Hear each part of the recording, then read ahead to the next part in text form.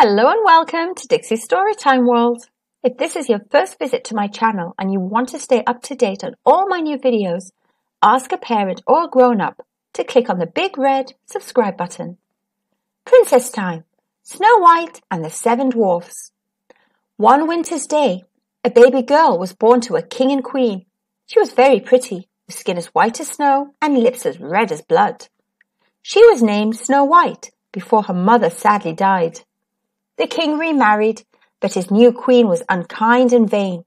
She had a magic mirror to which she would say, Mirror, mirror on the wall, who is the fairest of them all? You, O queen, are the fairest of them all.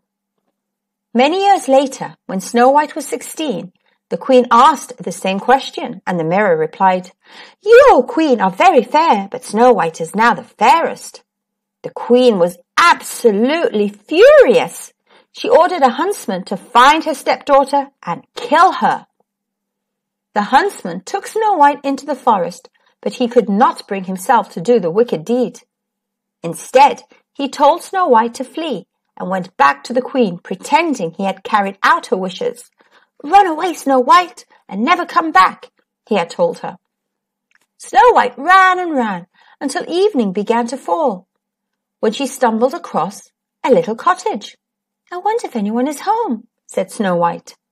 She walked up the path and tried the door, and to Snow White's surprise, it opened. She went inside the cottage to see if anyone was there. Everything inside was very small and neat.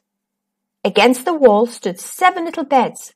Snow White sank down on one and soon fell fast asleep. Later that night, the owners of the cottage came back. They were seven dwarfs who had been mining in the mountains for jewels.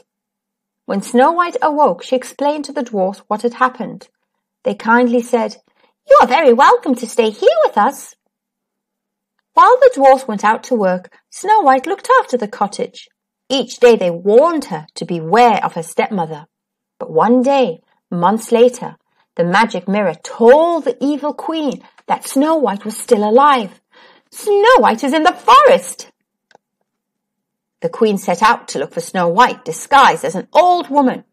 She took with her an apple that was poisoned on one side. Eventually the queen found the dwarf's cottage and called out to Snow White, Apples for sale! Delicious, juicy, sweet apples! No, thank you, said Snow White, but the queen wouldn't take no for an answer. She cut off a piece from the green half of the apple. Look, I will eat some first. It is quite safe. Snow White was hungry, so she took the apple, taking a bite from the rosy red side. Straight away, she fell down as if dead. When the dwarfs came home and found Snow White, they hugged each other and wept. They made a glass coffin for Snow White. Very strangely, she always looked as if she had just fallen asleep. One day, a prince came riding past. He stopped to look at Snow White, but as he leaned closer, he knocked the coffin. The poison apple fell from her mouth and she awoke. The prince took Snow White to his palace to recover and they soon fell in love. The dwarfs were the guests of honor at the wedding. Congratulations! Meanwhile, the evil queen asked a mirror one last time, Who is the fairest of them all? And when she heard the answer, Snow White, she burst into flames, and Snow White and the prince lived happily ever after. The end. Thank you for listening. I'll see you soon in the next video.